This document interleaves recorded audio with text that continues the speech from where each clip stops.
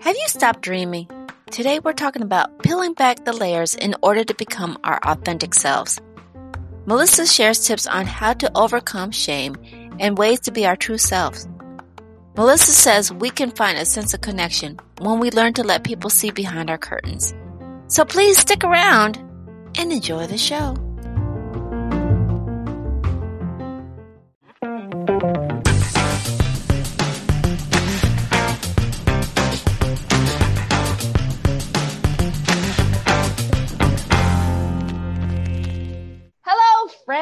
And welcome to another episode of Coffee with T. I'm your host, Tonia Tyler, and I'm excited because I have most, oh my goodness, I have Miss Melissa Russiano on the line today, and, and I am Hello. so sorry I couldn't get my lips That's to work. Okay. so without further ado, I'd like to bring on Miss Melissa. Welcome to the show. Well, thank you, thank you, thank you for having me. All that practice on my name, and look, it's the first name that catches you, not the last. I know. I couldn't get the Miss part. Miss and Melissa, right? Really? so we're going to actually talk about peeling back the layers and not selling. But before we really get into that uh-huh. conversation. I would love to introduce a little bit more about who you are and how mm-hmm. you're dealing with this whole COVID nineteen. Um, yeah. Yeah, that's a great question. And um, I am a licensed clinical social worker and I live in Erie, Pennsylvania. And much to the blizzard country um, name that I like to throw on my location, it is snowing today just for, you know, effect. Um, but uh, I've been here for about 22 years. I've lived in larger cities. And so it's interesting over the last seven months just to kind of see how my friends in larger cities are being impacted by this versus the the smaller location that I live in, a little bit more rural, um, but also the impact it has on my clients. You know, being in private practice and just you know being remote and and just not having that contact with folks. You know, I think it's been a struggle. Um, I think it's been a real struggle for a lot of folks and you know, for me, I'm blessed that, you know, I'm able to have that support system. Um, but it it does have an impact, I think, on all of our moods. So yeah, it's been challenging. And now here we go again, round two, round three, whatever we're on. Um, you know, and it's just, especially going into the holidays. I think it's a struggle for everybody. Right, right, yeah. It, it I mean, I think about like because my my family, I have a son out in California, and mm-hmm. my my girls are here, which is cool. You know, the girls are mm-hmm, here, but mm-hmm. my son, you know, I miss mm-hmm. him as as well. So, yeah. But you know what helps, and I I shared a little bit is um I'm military. You know, so mm-hmm, we we've mm-hmm. been away right. for the holidays yeah. like that. So what we've learned, and this is one tip tidbit I love for people to to even if they hear it, is just like there's so many people who can use your love and affection right where you are. Exactly. So you know, mm-hmm. you you know, it, it, sucks that your family's not there, but mm-hmm. there are some people who can use what you have for now. So right, we used to right. make family where where we were. absolutely, absolutely. And I also think, as I actually have plane tickets to California next week, that I think I'm going to give back. Um, you know, it's it's holidays. Sometimes don't even have to be on that day as well. That sometimes your holidays can be. I mean, Thanksgiving can be in July. Mm-hmm. Um, it's about being grateful and and getting your people together and just being able to celebrate. Um, and so just to be able to cognizant that yes it's thanksgiving it's the third thursday of, of november but that doesn't mean you can't create your own holidays with your people when when you're able right and I, you know melissa this is a great segue into like the topic of what we're talking mm-hmm. about it's like mm-hmm. back the layers and not settling right.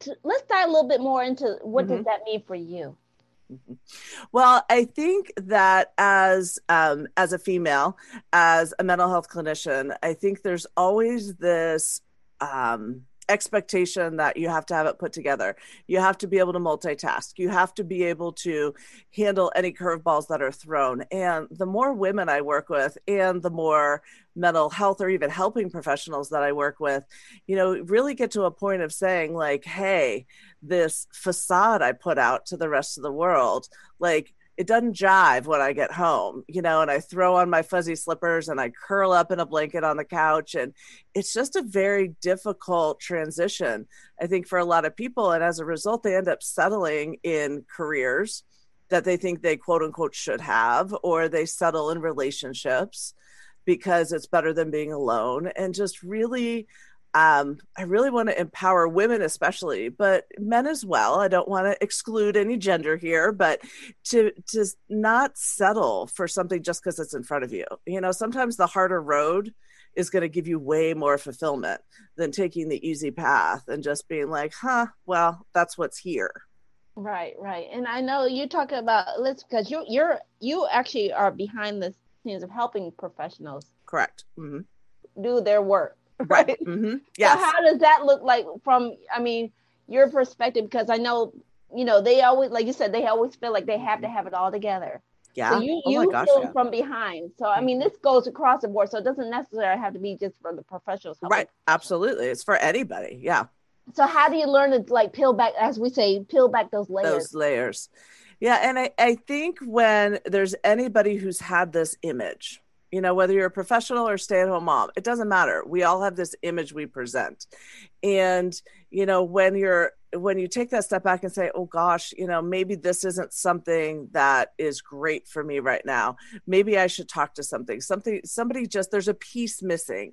Um and to be able to really connect with that person and to have a conversation but to also encourage people and i do it um, I always tell my friends I'm quirky, and they're like, that's not a professional word to use. And I was like, but that's who I am. I'm quirky, but I'm authentic and I'm 100% me. And with that comes sharing part of my experiences in just failing at things or you know being divorced and you know but still encouraging women to work on their marriages and knowing that it's okay to be human and that there there's a space to be created to say okay this is where you get to be vulnerable. This is where you get to be you.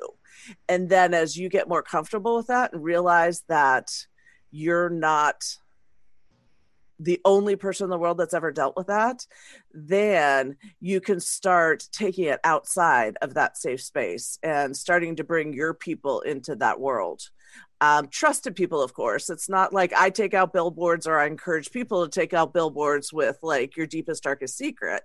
Um, but I think we're just as a society carrying way too much shame.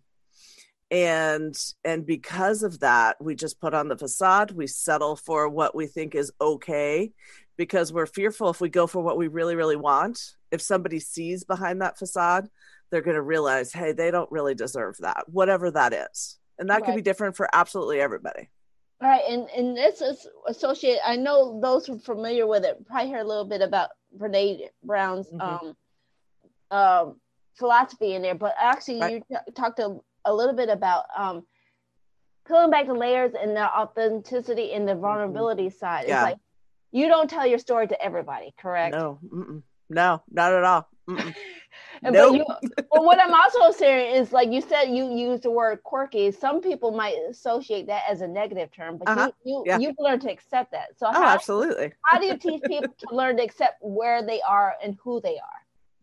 Yeah, it's it's kind of like that, you know, if you remember middle school when you have like this um you're afraid to trip down the hallway when you're in middle school because everyone's going to stare at you and they're going to be like, oh my gosh, you see what she did? She looks like a whatever. And, you know, it's as an adult, I think we've just been conditioned to don't make a mistake, you know, don't trip over a word. Um, don't get divorced. Don't have a kid who, you know, makes poor decisions. Um, don't fail at your job. Like don't and and and i mean that list is endless of all these don'ts that we have. And the more don'ts that are there i think the more we try to cover it up with this perfect image. And just being able to forgive yourself and accept those decisions. And most importantly figure out what the teachable moments are. Mm. you know what are those teachable moments? Because um I attended a conference, um, virtual conference, of course, my first virtual conference ever a couple weeks ago. And one of the speakers who just absolutely floored me talked about the word fail being an acronym for first attempt in learning.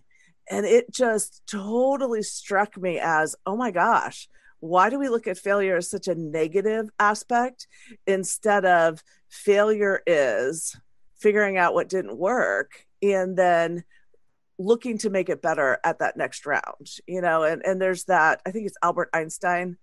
There's a reason i'm a therapist and not a scientist. Um, you know that said i found a thousand and one ways not to make ele- electricity or or whatever that was. Um, and so but it's like we joke about that but yet we don't absorb that and say it's okay to be honest about who you are. It's it's right. okay. There's nothing wrong with that Right. And you find such a sense of community and connection, especially now when everything's virtual. Find such a sense of community and connection if you can just let somebody behind the curtain and right. to see. I think COVID has made it easier for people to isolate. You know, easier yeah. for people to have Mickey Mouse pajama pants on um, which today I retired so we could chat. Um, like Mickey Mouse pajama pants on, and maybe they they have dry shampoo for the last five days, but they can look fine from like the waist up for a meeting, and and I think it's really done a disservice to encourage right. that hide a little bit more, hide a little bit more, don't show the world what's really going on, right. and I think that's a disservice. Right. And I and then this is the part where I always like to say if Melissa's dropping a lot of nuggets down there. And if you're picking them up, if you're picking them up like I am, remember, give us a thumbs up, put a comment down below so we can follow up with her and go deeper into this conversation. So I like how you talked about um, fail failure as fail attempt at learning. Mm-hmm. And forgive me if I didn't get that wrong because I, I, I can't get that right. So, but like I said, what I'm learning and what I'm also reading is to help us um like say that we're all human find the commonalities in, yes. in what yes. we're doing so mm-hmm. yeah. we're all you know and i think like you said we touched about we're all in this together all in this together we may and, be isolated but we're, right. we're still together absolutely and there's that common humanity that you know we all have a sense of fear and frustration no matter what side of the aisle you're on. You're, we all have a sense of fear and frustration. We all have a sense of isolation. We all want life that was normal. And for me, um, that was like March 16th, 2020. And I remember it vividly because I, I live in Erie, Pennsylvania, that thinks St. Patrick's Day is like the only holiday everybody should celebrate, which I just find comical. and so I found it very ironic that our town shut down on the biggest holiday of the year and we closed, everything shut down on March 17th. And so to me, it was a very easy you know date remembrance and i know a lot of people just want life back in our case from march 16th you know i want that life back and I can't have it. Um, and so I think there's all these emotions that we're all feeling. And to be able to say that common humanity doesn't exist, I think does a disservice for everybody living an individual story. But the themes, there's so much unity in that themes. If people would be willing, even if they don't want to totally peel back the layer, just to show a sliver to somebody. Right, right. Because it just it realizes like that's that we're all in this together. Mm-hmm. You know, like I said, I think that's the biggest thing is like we all can feel vulnerable, we all right. feel isolated, but we don't yes. have to be isolated. No, you know. Mm-hmm. So I think that's a, a great point that you know I want to make sure we emphasize and stuff like that.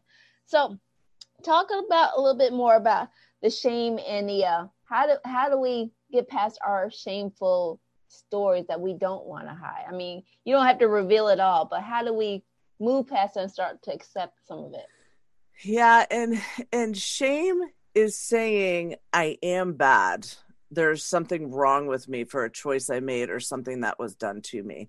And so I think first and foremost is realizing um, that we all make the best decisions that we can given the information we have at the time we need to make the decision.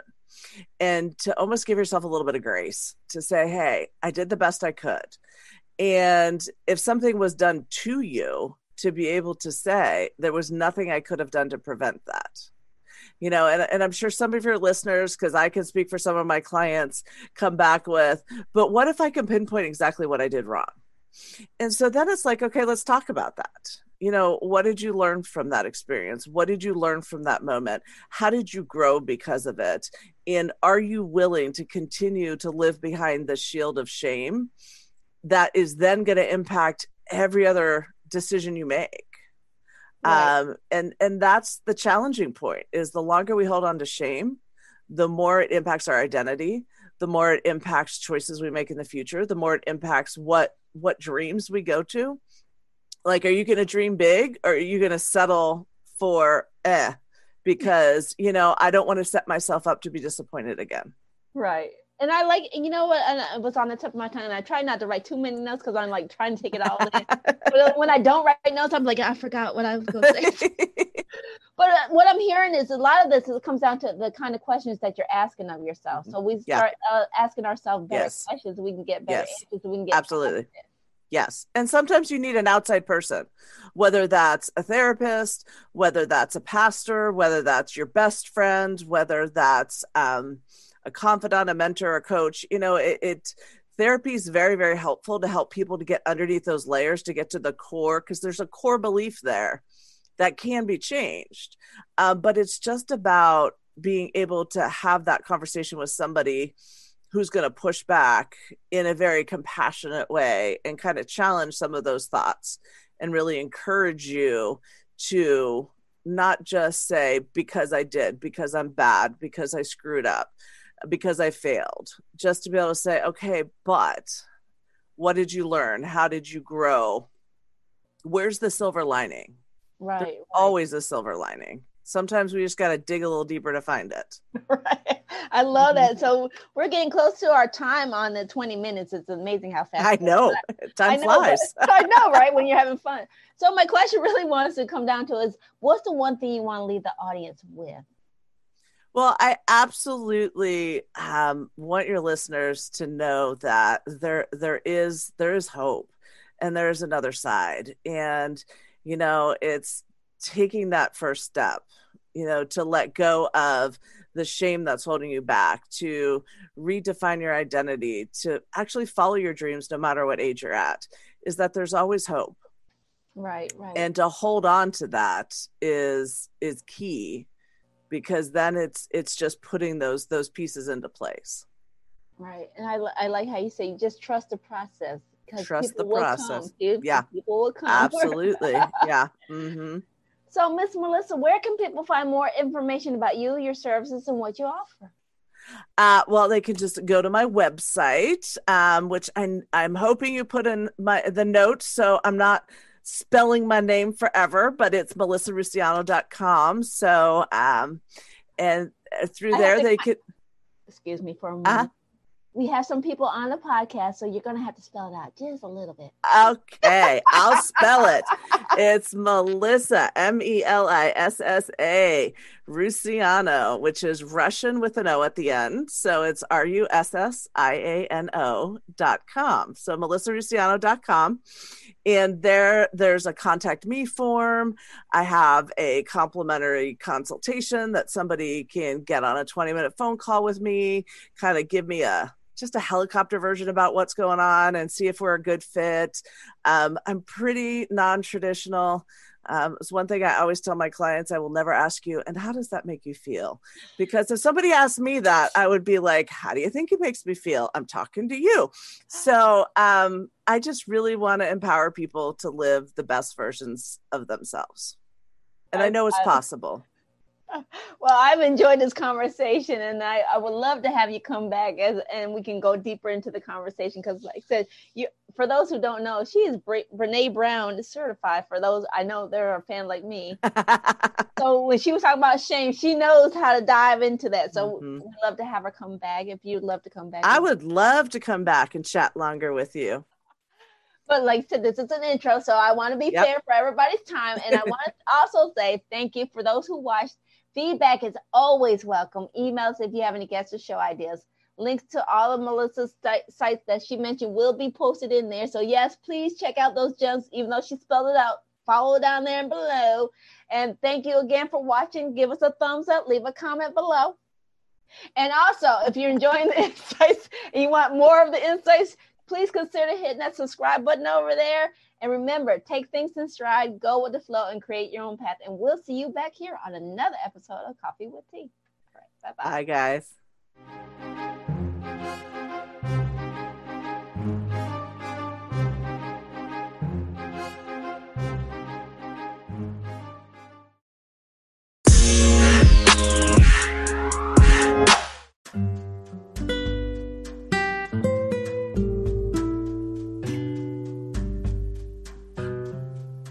Hi, everyone. This is Tonia again, popping in to say thank you for listening to today's show.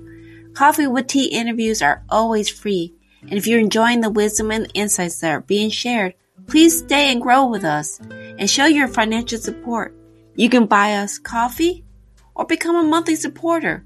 Links are posted in the description box. And again, I wanted to personally say thank you for tuning in.